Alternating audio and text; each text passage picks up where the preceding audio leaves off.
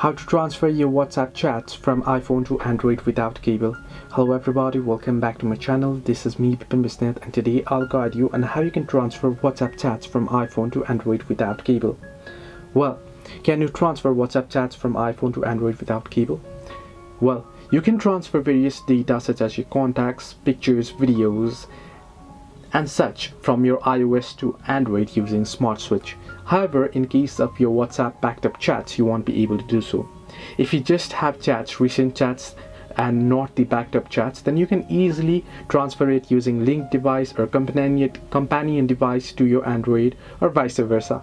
However what you need to understand is that on iphone whenever you back up your chat your chat is backed up on icloud. Whereas in android if you try to log in after you have backed up your chat on ios then it will ask you to restore your backed up chats. But when you click on restore unfortunately it will search for restoration on google and there is no end backed up chats in Google accounts since you have backed it up on your iCloud, iCloud account. Similarly, it is the same if you want to transfer it from Android to iOS.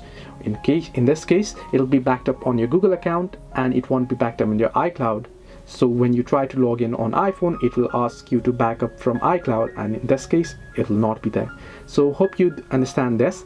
You'll have to do it through data cable I'll make a separate video on how you can do so through data cable as well. Hope this helped you. Do like and subscribe and do not forget to leave a comment down below if you have any further issues.